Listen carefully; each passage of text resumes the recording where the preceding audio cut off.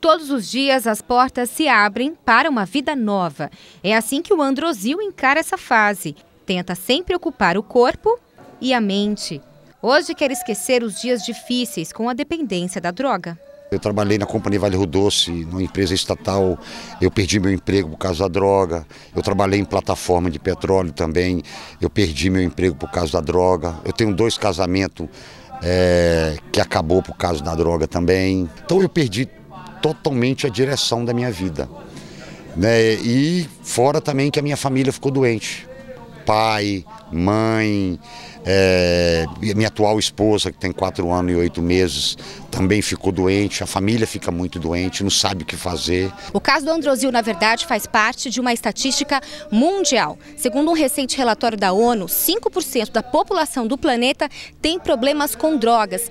O Walter conseguiu se livrar das drogas. Passou por sete internações. Hoje é um exemplo. Se recuperou e foi além. É um dos donos da clínica de reabilitação. Comecei pelo álcool ainda muito novo e achava que não tinha problema nenhum. E aí eu fui experimentei a cocaína e quando eu experimentei eu gostei daquela sensação que ela traz, aquela sensação de euforia.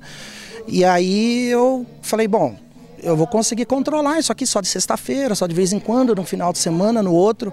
E aí, quando eu vi, eu não conseguia fazer outra coisa a não ser usar. Né?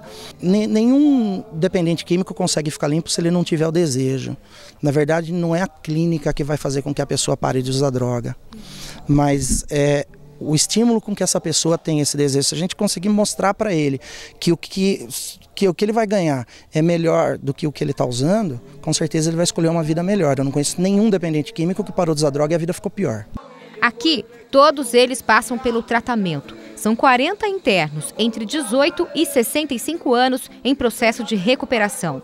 A droga não escolhe idade, sexo, perfil socioeconômico. A maioria deles teve o primeiro contato ainda cedo. Na adolescência, tudo começou apenas como curiosidade, distração. A pessoa começa na, na, procura de um prazer, na procura de distrair, descontrair. Muitos começam, inclusive, depende da substância, na adolescência e, sem perceber, começa a se tornar um hábito esse consumo.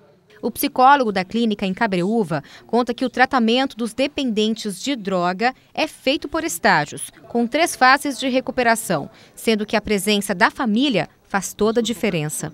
O período mais crítico talvez seja nos primeiros 30 ou 45 dias, que são períodos marcados assim pelas crises de abstinência ou fissuras, né? que após esse período fisiologicamente a pessoa se sente mais capaz, né? capacitada em lidar com isso. Depois começa um trabalho de conscientização realmente do problema, estratégias de prevenção de recaída, que também é fundamental. Né? Aí tem a motivação, tem o apoio da família e suporte tem sido fundamental também no tratamento para que a pessoa consiga é, superar esse problema. Não deixeis cair em tentação, mas livrai do mal. Amém. Essa é a oração de todos os dias, que dá força, coragem e determinação para seguir em frente e encarar a vida longe da dependência das drogas. Quero minha vida de volta.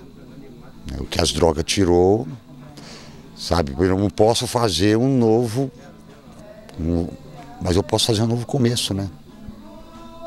É o que eu estou tentando fazer agora dessa vez, é fazer um novo começo.